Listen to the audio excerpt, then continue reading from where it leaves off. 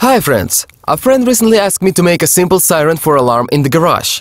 Of course you can buy a ready-made option, but he wanted to sound was like the air raid sirens. It sounds like this.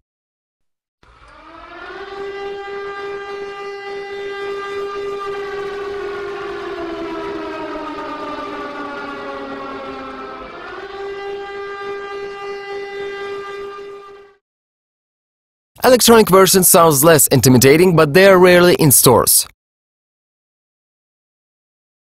The scheme consists of two generators. The first low frequency and controls the second. Scheme I found on the net, but it did not work because of too small capacitance in the second oscillator. I increased it to 0.1 microfarad, but after the scheme began to work, it sounds not as so, as you heard in the beginning.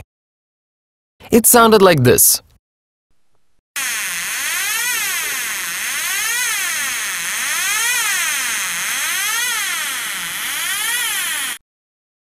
Not sounds like air raid siren.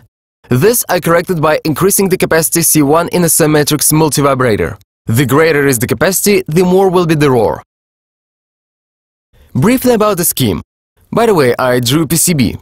It can be downloaded along with an archive of the project under the video.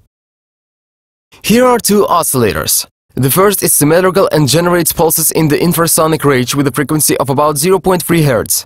The second is unbalanced or non-symmetrical multivibrator and managed by first. It operates at a higher frequency.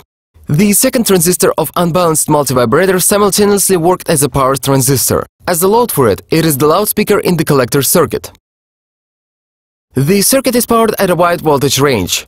It will work even from 1 1.5 volt AA batteries and up to 12 volts, but optimally is from 6 to 9 volts.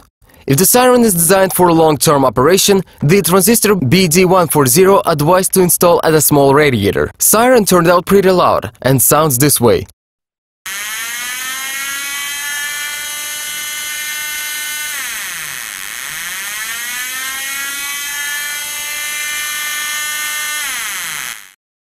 Well, even though I long time hadn't done such simple flashing lights and sirens, but this scheme was quite suitable.